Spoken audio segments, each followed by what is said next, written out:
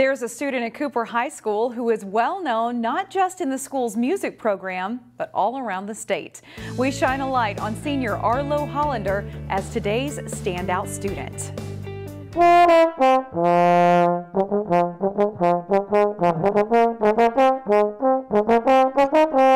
Arlo Hollander is the music equivalent of a five-star athlete.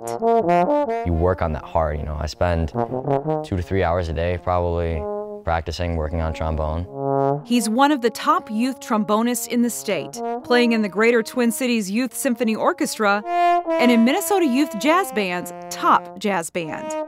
And here at Cooper High School, he is involved in darn near every musical opportunity we offer at Cooper.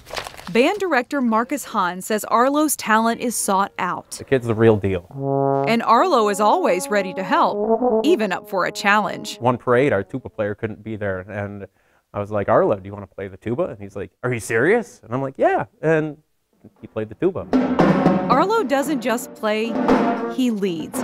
He's the senior drum major of the marching band. Being a drum major, you're having the responsibility of keeping everybody kind of gelled together.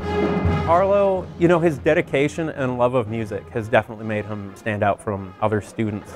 Being the drum major is a really important position uh, to be and for people like looking up to that. Besides music, Arlo is also well-rounded.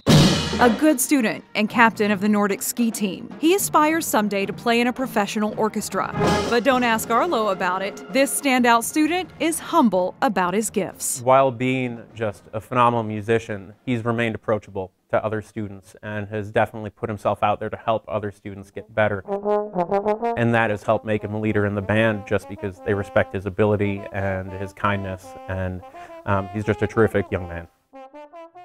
Arlo is studying trombone with someone at the University of Minnesota, and he plans to pursue a degree in music performance. He's already going out on auditions. Good luck.